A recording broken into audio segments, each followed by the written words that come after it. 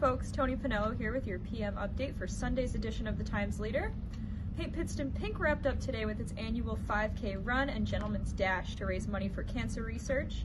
Our own Kevin Carroll was among the dashers, and we'll tell you how things went with that.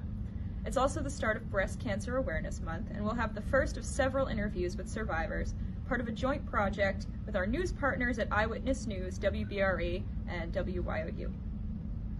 Luzerne County's recent tax sale generated what is believed to be a record high, thanks largely to a single investor. Jennifer Learn Andes will tell us about that person and what he purchased. In sports, we'll have all the action from Happy Valley, where the Nittany Lions are looking to hold off the Northwestern Wildcats. And in lifestyles, Mary Therese Biebel profiles the Wyoming Valley Barbershop Harmony Chorus, which turns 70 this year.